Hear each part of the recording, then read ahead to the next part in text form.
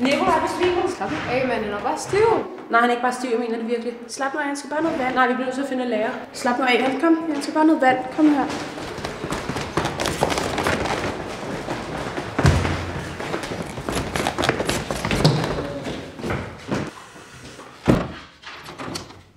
Hvad laver I?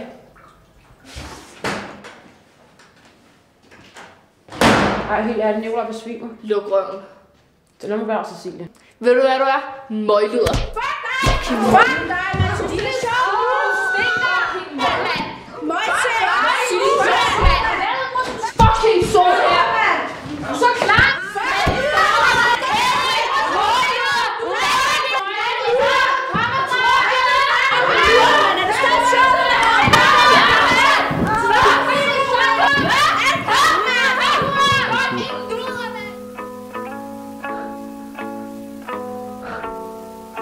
Det ligner ikke så meget.